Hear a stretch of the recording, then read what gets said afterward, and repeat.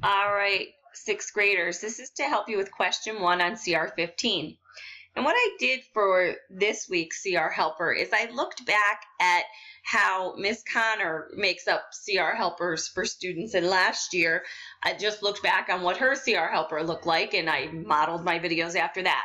So for question one, she gave you hints for rounding decimals to any place. The first thing she said to do is underline the place that you are rounding to. She then says circle the digit to the right. And then she gives you this rule. This must be what, as sixth graders, the rule you say. I use vertical number lines to, to round, so I don't know this rule, but I guess this is the rule you use. Five or more, raise the score.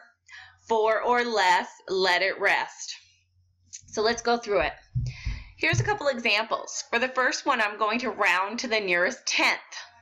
So it says underline the place that you are rounding to. So the tenths place is right here. Then it says circle the digit to the right. All right, I'll circle the digit to the right. Five or more, raise the score. Four or less, let it rest. So if we see this is four, that's four or less, we let the three rest. So rounding to the nearest tenth, this would be 9.3. Now if you wanted to round to the nearest hundredth, underline the place value that you're rounding to. So this is the tenths place, this is the hundredths place. Oops, underline that place value. Circle the digit to the right. If it's five or more, raise the score. Because eight is five or more, we'll raise the score. Ms. Pearson used to say, add one more, kick the rest out the door. It's just interesting that at every grade level you probably learn different sayings and no wonder students always think they're learning something new.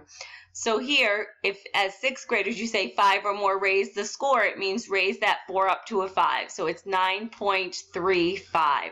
That's rounding that number to the nearest hundredths.